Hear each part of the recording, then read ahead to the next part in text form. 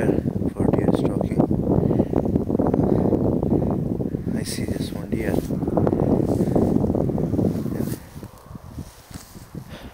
It's a nice place.